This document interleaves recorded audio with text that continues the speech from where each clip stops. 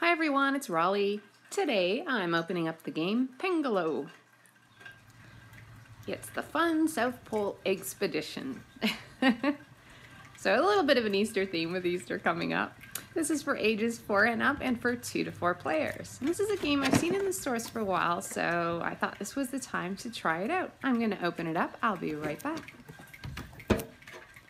Here we are, I've opened everything up, and before I get started, I wanted to show you the box it comes in. Um, and I love this. It comes with little compartments, so when you're done playing, it's really easy to put away and keep safe. It's really good quality. And here's all the pieces that come with it.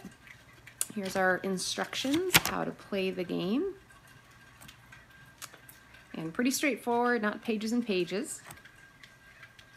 So it tells you how to get ready. And then here are the pieces. You get two of these dice that have the colors on each side of them.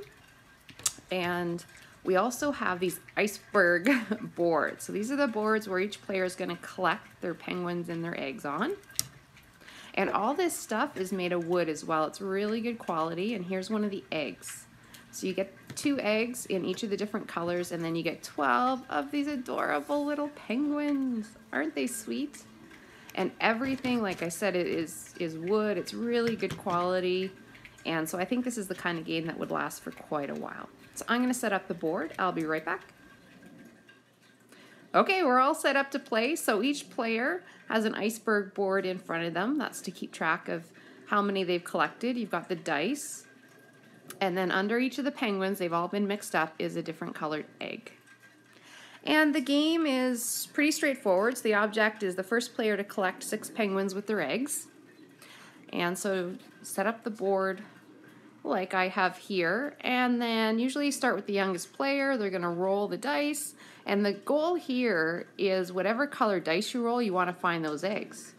So on this roll, I was lucky. I found the yellow egg. Gonna see if I can find a... Oh, I did find a blue one. Neat. Now, if you do find two, both your eggs, you do get another turn. And then, of course, if you don't, if you only get one and then you miss it or you miss both, then it goes on to the next player. And when you get your egg, of course, you put it on the board. The first one to get six wins. And a couple other notes they have for playing the game, things that you can add to the game, which is that either players can help or can give false information. Um, uh, or you can also allow for uh, eggs to be taken away from other players. So if you leave the eggs hidden on other people's boards, you can decide to play where you can also choose those ones too. It's up to you. But the goal of this is to, of course, get six. Whoever gets six first is the winner. So I think this game is really cool. I like it the way it's designed to be played you know, from the company, the way it's set up. But I also think there'd be lots of neat opportunities for someone or for kids or anyone to come up with their own variations on the game.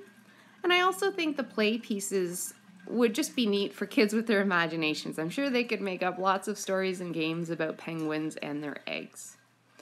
Um, so overall, I think this was a great buy. Uh, the, the cost was about $24, which is a little higher than most, but I think a good value. So I would definitely recommend this.